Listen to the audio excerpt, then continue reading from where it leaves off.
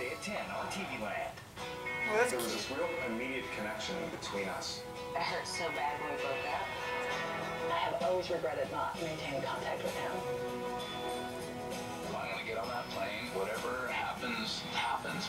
Everybody wants to recapture their youth, and just for a moment there, all the wrong turns that we made and everything were undone. If it doesn't work this time, I honestly